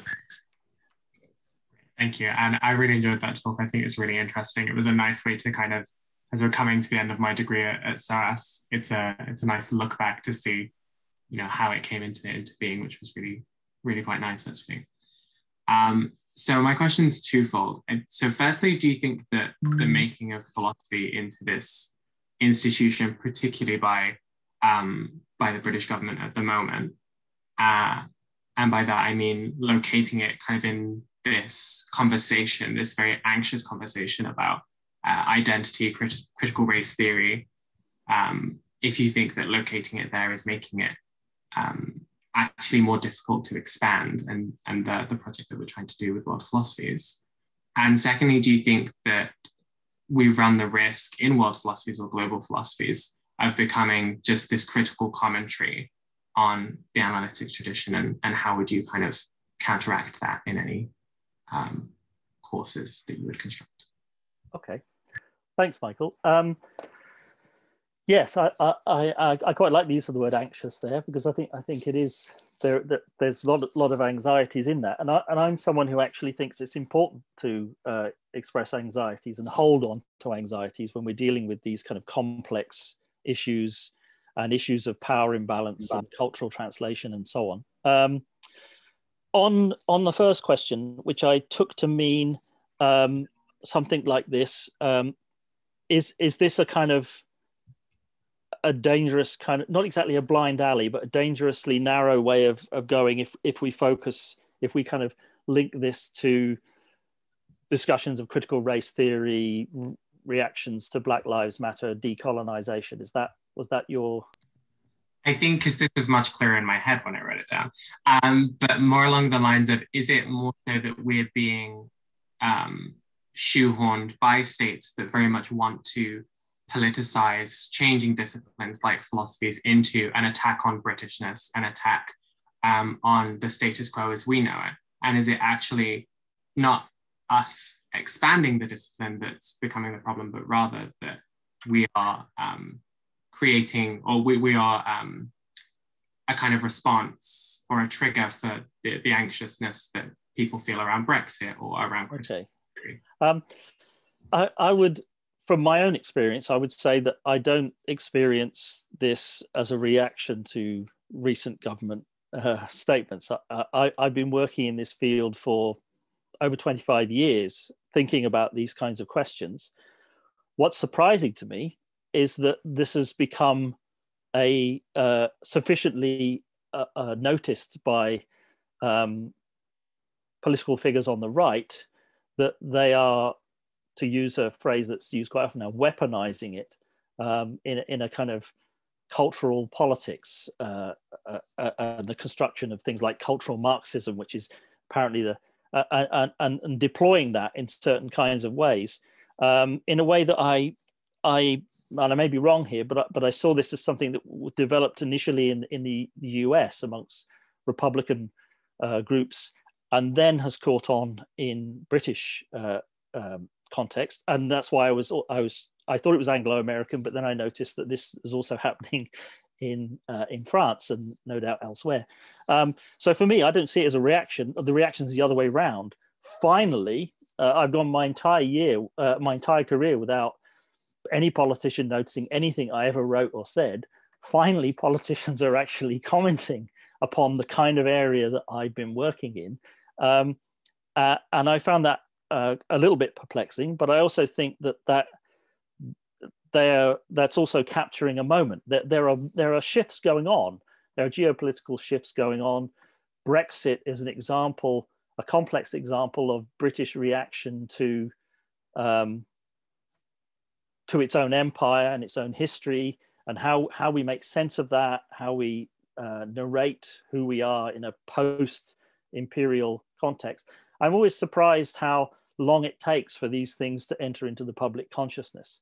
Um, and that's why I was interested in the Foucault point, because I think that what Foucault was essentially saying was that the, the European empires, the British Empire, ended just after, effectively after the Second World War. That's that's a, quite a long time ago from the point of view of an individual human being. But it takes, it seems to take many generations for the uh, impact of that culturally to, to start to unfold. And I see Brexit as part of a reaction to that unfolding impact of the fact that Britain no longer rules the world and, and, and, and it's not going to go back to being ruler of the world and, and, and how you come to terms with that. And there are, of course, different reactions. So, so I see the reaction as going on not from the academics as from the politicians who are now seizing upon what academics are, are saying on that. Um, and then your other, your second question was about whether whether we end up engaging in too much critical commentary and not enough philosophy. Is that? Um, I think there is a danger of, of doing that too much. I mean, you could I mean, I could spend an entire course talking about the issues of translating certain Indian philosophical terms into Western ones without actually talking about the Indian traditions. And that's why I think that the it's important that there are courses that focus on uh, the, the primary remit of those courses is let's get into the nitty gritty of these particular traditions and practices and, and so on. But I don't think, I think we need to be aware of these kind of methodological and critical lenses. But in some courses, they would be foregrounded a lot. And in some, they would be there, but they wouldn't be necessarily, you know, always on the on the front page. Thank you. I phrased my questions poorly, but that, that organization of, of philosophy in this cultural debate we're having now is, is precisely where I was getting at. So thank you. Thanks for that. Thank you. Uh, Anya, and, and then um, Missy, sorry, I think I'm struggling to pronounce your name. Max is fine. Max is Good. Good. Thank you. So Anya, and then you, you go ahead. Um, hi, um, Richard. I have to say it's a pleasure to meet you. I cite you all the time in my essays, and it's wonderful. It's very strange and wonderful to be able to put a face to the King colon 1999. um, so yeah, um, as you have many times before, you've wonderfully put um, given me words to um, explain you know conflicting feelings that i've had um, in readings that i've done and concepts that i've um, studied. So today it's been the idea of transformational philosophy. I wish i had this terminology a couple of weeks ago. I was writing an essay about this for elvis. Um, but yeah so i wanted to ask you about um, i mean I really appreciate how optimistic you were um, at the end of your talk, um, you know, bringing up Black Lives Matter. But I was wondering if you could talk a bit more about the, you know, the realities of this. So I cannot see how in today's climate, with uh, with the marketization of universities happening um, in a very real way that is affecting, you know, um, the academics so close to my heart. Um, their workloads, um, it doesn't seem like it's enabling space for this transformational um, philosophy to grow and prosper um, and you know ideally overtake whatever the usual you know old colonial version of philosophy um, that persists in every other UK university. So I just, I, how can it happen with our academics not losing their poor minds um, in in the social structure that we've got in in this marketized system i i just can't fathom it because I mean, everyone's getting axed. You know, as you said, these departments are shrinking. So it seems counterproductive to put energy into um, changing it's like shoveling the snow while it's still snowing, I suppose. And because I'm thinking about my career, of course, and I would love it, it was my dream to be an academic, but it's seeming so difficult. And I'm wondering whether my energy is more, um, it, would be more targeted use of my um, skills to try and change the structure of um, you know the world and the government to enable transform, transformative philosophy to um, blossom.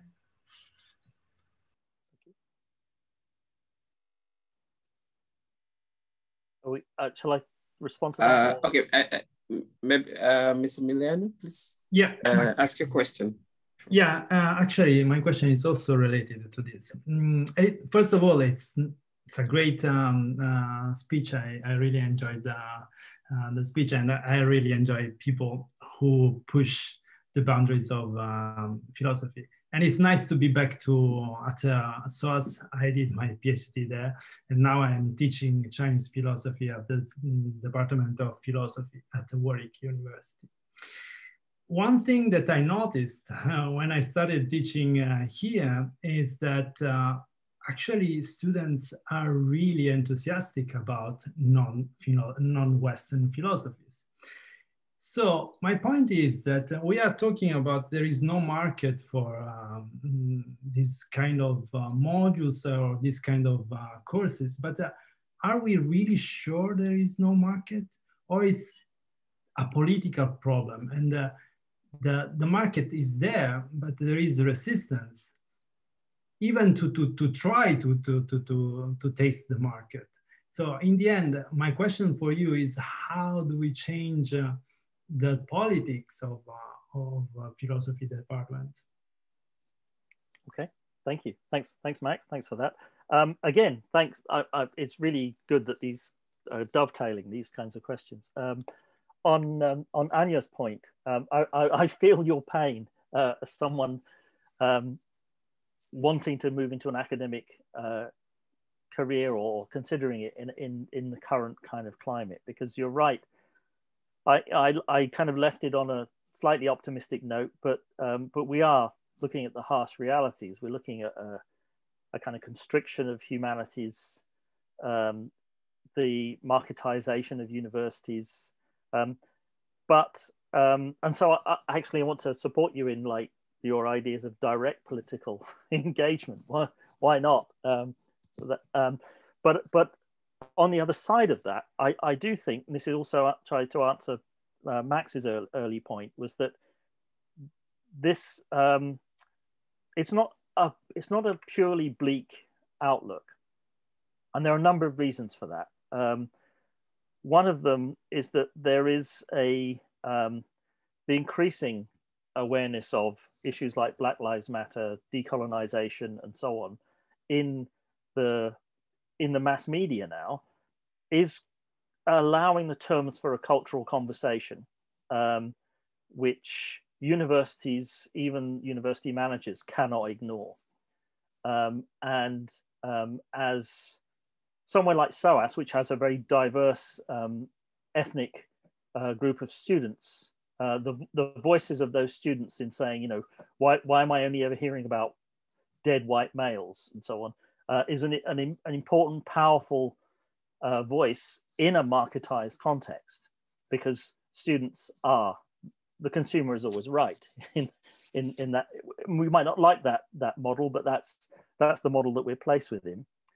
Um, so I'm quite optimistic in the sense that, uh, responding to Max's point, I actually think that the, the in, within the younger generation, these kinds of issues are um, much more natural to think about. I mean, I mean, notions of um, acceptance of different different forms of of sexuality, of different different kinds of uh, gender formations, of, of uh, people of different ethnic groups just you know of course we're equal.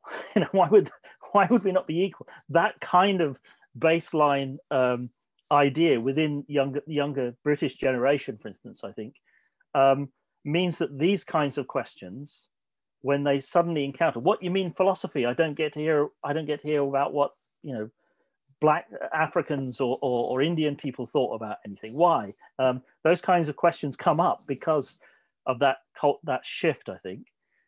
Um, but there are two other process, two other aspects to this. One is that universities, perhaps not in this particular moment because of the pandemic and Brexit, but even with Brexit, uh, the managers are constantly talking about internationalization.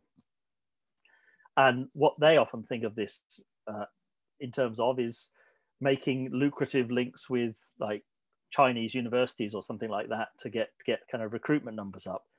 But there is a side of that which is about the internationalization of curriculum.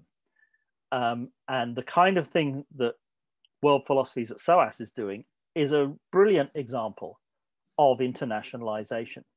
Uh, and so within the institutional framework of universities, that's a voice that can kind of capture some traction.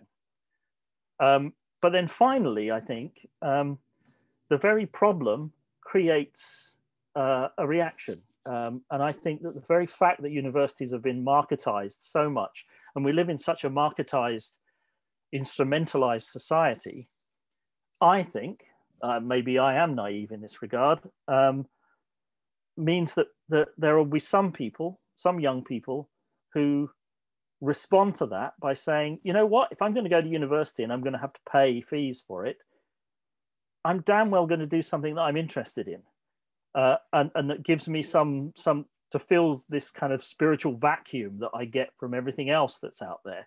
So I'm really going to do this as a kind of vocational thing. Um, and I think the more and more people feel commodified, um, there will be people and are people who say, no, I'm not having this. Uh, I'm, I'm, going to kind of explore these things because, because you know, I'm, I'm, a, I'm a rounded human being, not just a, a worker in the global economy. So I actually think that marketization as it, as it speeds up creates, I think, a kind of possible uh, market, ironically, for for people who who are, are against or, or resistant to that. Um, so I don't know if that answers. Um, so I think that that's my response to Max's point as well. Are we sure there's no market? I I think that I think that there is, and I think that. Uh, somewhere like SOAS is ideally placed to, uh, uh, if, if, of any institution uh, in the UK and probably around the world, to kind of pioneer this this kind of uh, project. Thank you. Thank you. Thank you, Richard. Thank you for your questions. Uh, Sean? Thank you, Richard. That was really great. Really good to hear.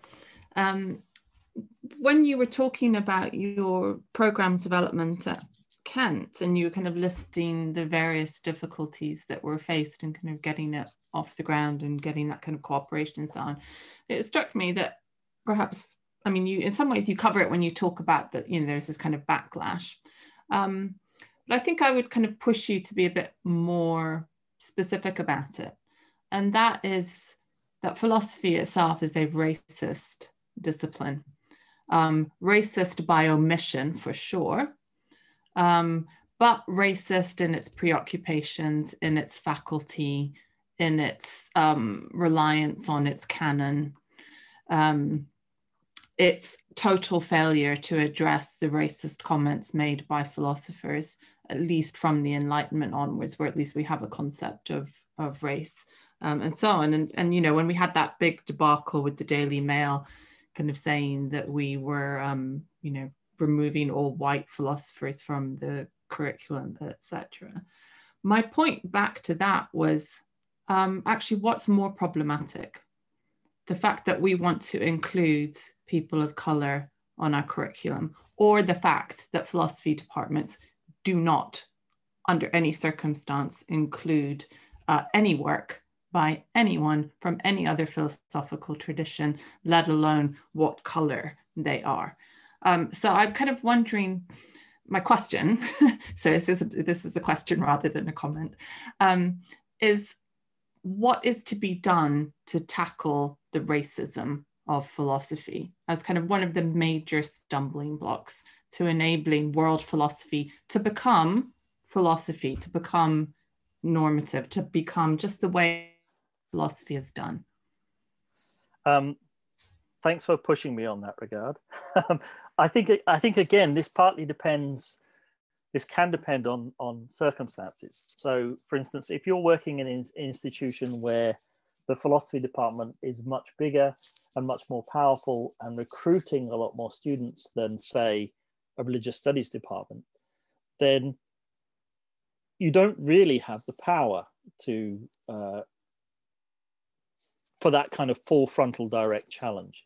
I mean, just in terms of strategy, it's just not going to work uh, because it's going to also alienate colleagues who, in other regards, might be seen as um, working uh, in you know in synergy with you. But I but I um, but I think SOAS is slightly different because you didn't you didn't you don't have that issue. You don't you you you um, you have sure you have issues of having to resist those those kinds of ideologies and those beliefs, but but um, but you don't have an institutional department within SOAS that's pushing back all the time, saying, "Hold on a minute, we're doing the philosophy. Get off our territory." Um, so I think that that can be. Um, it depends on on the context. Um, I would say that the problem with philosophy departments, almost universally, is that they are racist. Um, even if it's a form of racism that most of them are not uh, in, uh, prepared to engage with, and it's often a kind of lazy, lazy racism because they've not been challenged. So, um, not at Kent, but another institution that I worked at where there was a philosophy department. Um, I was I, I gave a, a, talk about expanding philosophy many years ago, uh, and one of the um, professors in the philosophy department said, didn't go to my talk, but said, but knew I'd given it, and said, why do you, why do you think it is that philosophy departments don't teach Indian philosophy apart from the obvious reason? And I said, what's the obvious reason? And he said, we don't have time.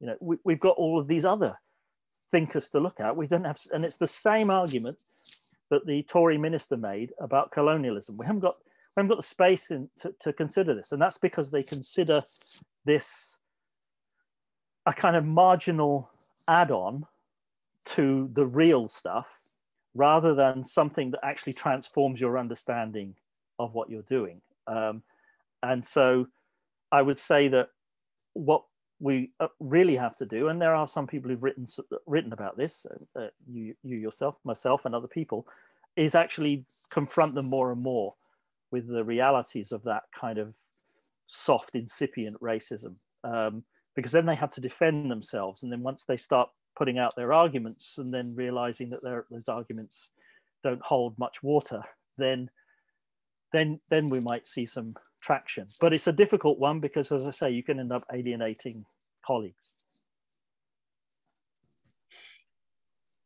Thank you, Richard. Um, Beth, you have the um, the last question. But before that, I, I just wanted to um, bring uh, Richard's attention back to what you said about uh, philosophy's uh, self-critique, uh, the philosophy of philosophy uh, what what is often called meta philosophy. Yeah. I think I think even in the West, it it only exists um, in the very strict sense of analytic philosophy. Remember, remember Wittgenstein and, and even recently Timothy Williamson's uh, 2007 book on philosophy of philosophy is still very much in that, although he's a critic of the analytic philosophy, is still very much in that analytic tradition. But um, I was just thinking, is it not therefore very, very important that in designing a program on um, world philosophies or global philosophy that we begin, at, at least the students, first of all, are introduced to a module of uh, meta philosophy or, or philosophy's self critique, you know, and really play around that concept of philosophy and see exactly in what working definition um, it means all through that program. But I think um, it really got me thinking what you mentioned. We really don't engage with philosophy itself you know, we just have this assumption and presupposition that we know what we are talking about. I just wanted to hear your thoughts about that. Uh, thanks, Elvis. Yes, I absolutely agree with that, and I think that um, for me, if I if I could kind of build a program that wasn't based upon like fitting certain colleagues in certain courses and so on, uh, I would absolutely start off with a with some kind of discussion of what philosophy is, um, the, the notion of philosophia, I, I would go to different cultural places and time periods, and I would foreground that question of, you know, what is this thing called philosophy? And I would foreground it not in the form of, I'm informing the student what philosophy is, so you know what you're going to study for the next three, four years, but in letting them know that this is a question they will continue to think about throughout their degree, that there's no clear answer and I'm not introducing them to a canon, I'm introducing them to a problem. Um, and so I, that that's how I would I would approach that uh, that approach. And I think one way to do that is precisely to hone in on the question of where did it begin, because that can open up that that kind of discussion.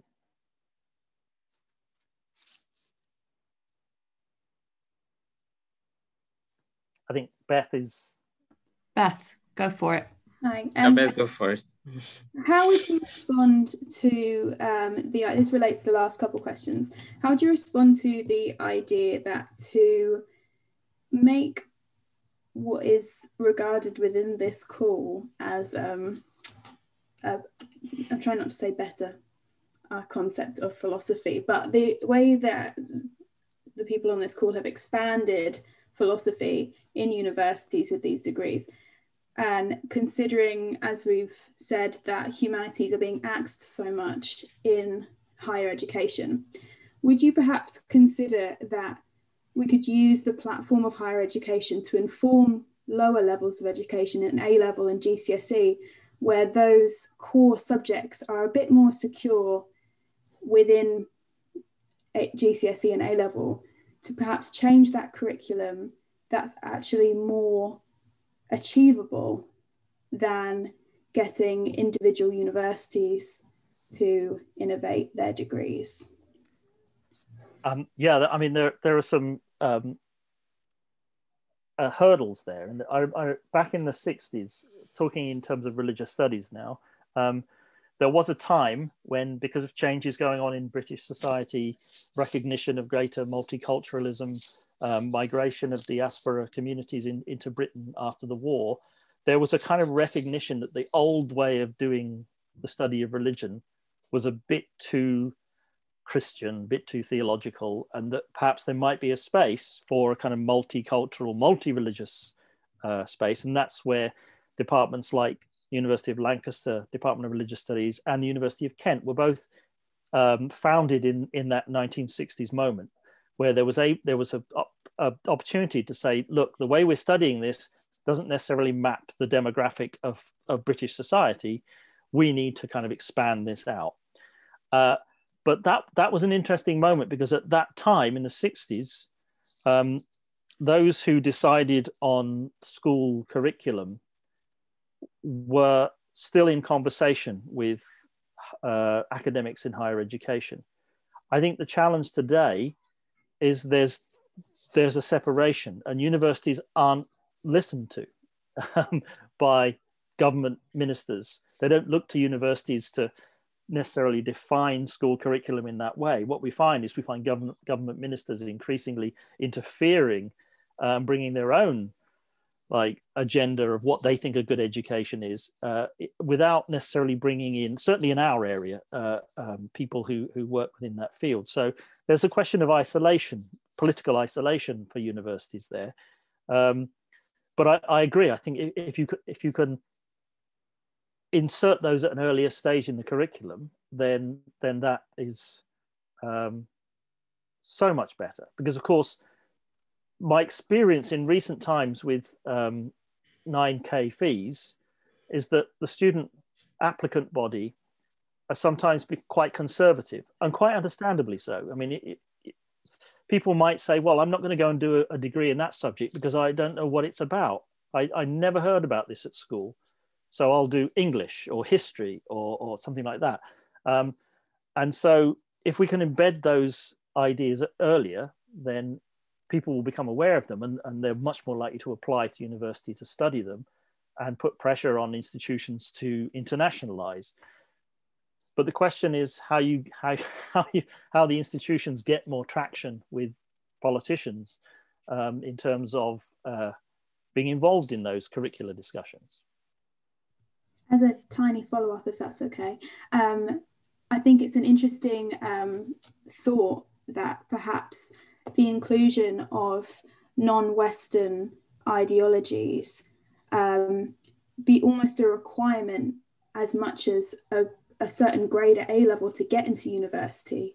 You know, that like they talk about Western philosophy, philosophy being the basis of knowledge, and then everything is additional, like you were saying, where it's almost like half of your knowledge is not there. So it, I wonder if there is a position that universities could have that while they say you have to know this, this, and this, and be at this standard of education to come to university, you also have to have a more informed knowledge, not just that specific. I, I think that's absolutely right. And I think that the that there could be more done there. And I think that the kind of model of universities as a kind of factory for people who are then going to work in, in global capitalism doesn't even fulfill itself because um, if you really want your graduates to become CEOs of international globally relevant companies let's say if that's the kind if that's the kind of aim you're looking for then they need to be globally trained as citizens as well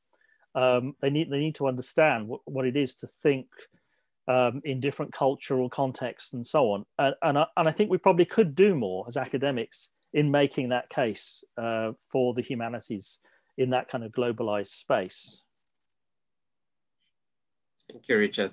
I know uh, we've um, gone over time a bit, but I was just wondering if you could quickly respond to one more question.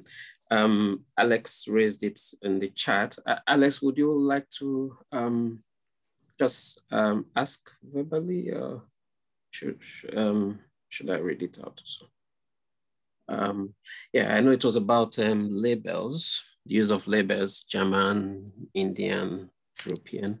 Um, sorry, let me just see if I can get the question. Yeah, so if I may write uh, um, a question about, okay. I have a question about a few of the labels that are commonly used, uh, assuming that labels are that labels are important for content at least indirectly. Like many of us, you use you speak of uh, Indian, European, German, French, etc. philosophies. There are of course these are of course names of current geopolitical entities. With German philosophy, one could perhaps try to speak of German speaking philosophy to capture anything from Kant, uh, yeah, to Wittgenstein and all of that. However, that won't work for terms like European or Indian. So I was wondering if you have any thoughts on this or perhaps a pragmatic solution. Yeah, thanks for an amazing lecture. Um, thanks. Um, so um, yes, I mean, again, we're caught here in a space between um, a modularized framework of knowledge where you have to present and market um, modules in a particular kind of way. So, so um, if I'm teaching a course on what I might describe as Indian philosophy, uh, but in the description, you'd realize that I'm not looking at the entirety of Indian philosophy because no one could in a modular structure.